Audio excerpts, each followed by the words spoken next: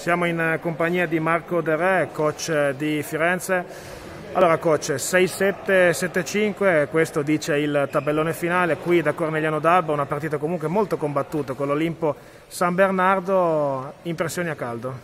Prima di tutto faccio, faccio i complimenti ad Alba e a coach Iacomuzzi perché ritengo sia una delle squadre che gioca la pallacanestro migliore.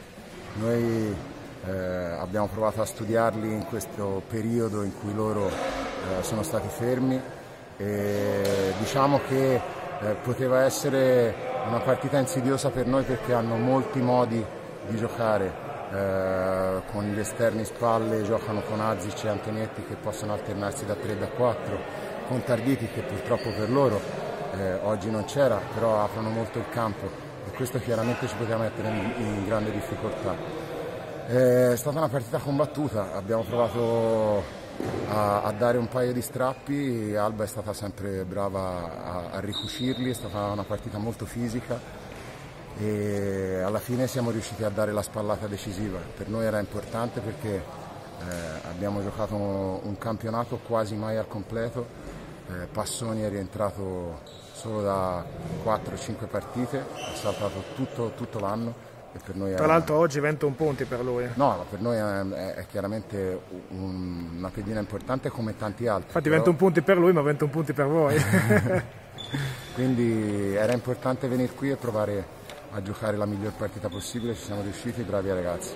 Sì, tra l'altro lei descrivendola comunque avete provato ad allungarla, Alba che ha ricucito gli strappi, vista da fuori è stata veramente un ottovolante di emozioni perché poi era un colpo su colpo, io se devo vedere una chiave di lettura importante sicuramente nell'ultimo quarto dal 5-3-5-4 quando sostanzialmente Cianci ha fatto canestro voi lì avete piazzato due triple due triple che secondo me hanno scavato un po' il sonco ma soprattutto anche mentale non tanto nel punteggio perché 53-60 lì avete fatto capire che probabilmente la potevate portare a casa sì anche se poi non è mai detto perché Un'indicazione, eh, ecco. No, certo, assolutamente. Abbiamo giocato però partite nell'ultimo periodo con Ozzano, l'ultima della prima fase, diciamo, eravamo sotto tre a pochissimi secondi dalla fine, l'abbiamo impattata, siamo andati al supplementare. Abbiamo fatto il contrario con Rimini, avanti noi l'hanno impattata loro, quindi questo è uno sport meraviglioso perché non si può mai alla fine dire se è finito o meno.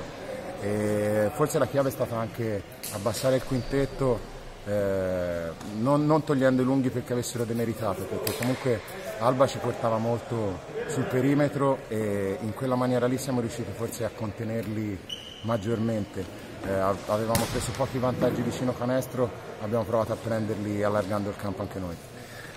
Altra chiave di lettura importante sicuramente quando Alba è tornata sotto 6-4-6-7 quando Antonietti ha messo la tripla, però lì poi voi con Passoni poi insomma l'avete, l'avete portata a casa, lì è stato veramente importante.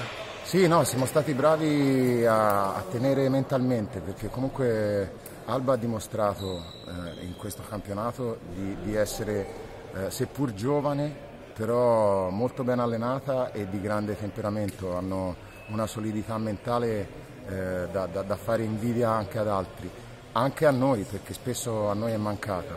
E noi oggi invece siamo riusciti a tenere duro fino alla fine, a compattarci, a buttarci anche sui palloni vaganti che durante la stagione sono stati diciamo, a volte la, la, la chiave per gli altri e quindi niente, è andata e per noi è una vittoria importantissima. Adesso insomma la seconda fase continua per voi ovviamente, che seconda fase è e qual è il ruolo che ovviamente Firenze vuole ritagliarsi coach?